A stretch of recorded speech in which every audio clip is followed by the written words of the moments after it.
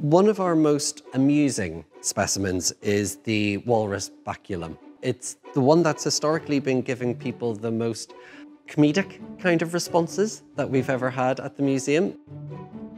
The walrus baculum, or more commonly known as the walrus penis bone, has been with us at the Grant Museum since 1828 and was one of Grant's original specimens that he brought in for his teaching collections.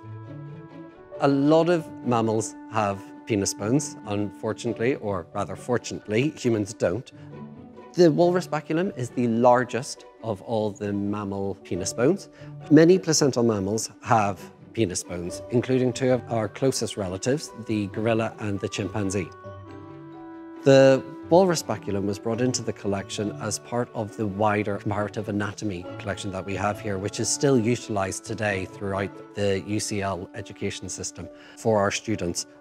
Hopefully we get to have a lot more fun and interesting comments about this one specimen for many, many years to come.